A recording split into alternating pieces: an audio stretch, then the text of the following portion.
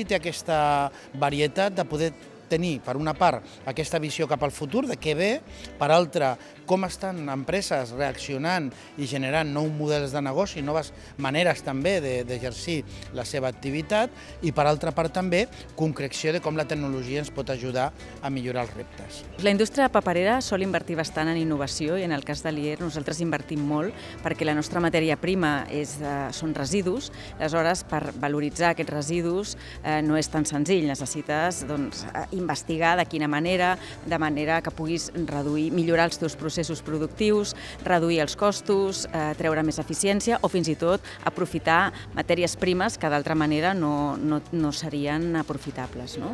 Cada día más eh, hay gente en Cataluña que quieren apostar a estas ideas de la industria industria eh, simbiótica con el medio ambiente, eh, conectar una industria a la otra para que haya menos residuos y menos uso de energía.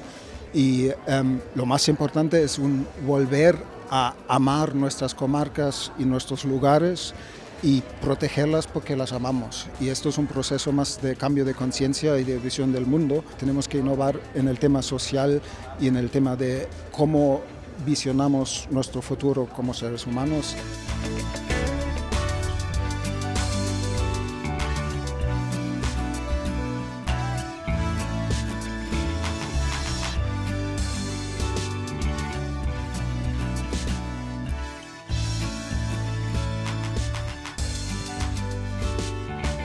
Parlat de, de la indústria regenerativa, o sigui, com la indústria i l'economia en general estem sent cada vegada més conscients de que no només hem de deixar el, el, el planeta igual, sinó que l'hem de deixar millor del que ens el trobem, i hem vist que empreses privades pues, no els havien d'explicar res, que som molt més eh, sostenibles i responsables del que pot ser alguns ens podrien pensar.